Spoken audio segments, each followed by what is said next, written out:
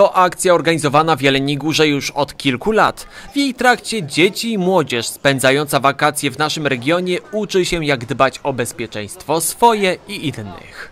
Wszystkie służby pokazują swoje działania. Bawimy się z dziećmi. Pierwsza pomoc w, na, w nagłych wypadkach razem z Polskim Czerwonym Krzyżem i z Klubem Honorowego Krwiodawstwa.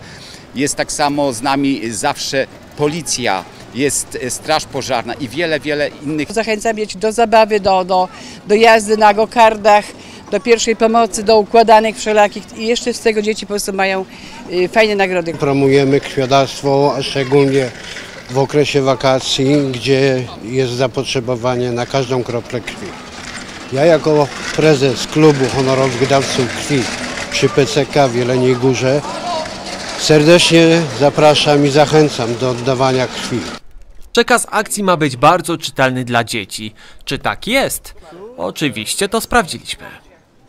A po co to wszystko wam pokazują? Jak myślicie? Dla zabawy. Dla zabawy. No tak, jak najbardziej, żeby była zabawa. A dla nauki również. A czego się tutaj uczycie, twoim zdaniem? Bezpieczeństwa? Jak najbardziej. Bezpieczeństwa na wakacjach. Przede wszystkim uświadamianie dzieciom y, znaczenia bezpieczeństwa i integracja z, ze służbami i z samymi sobą.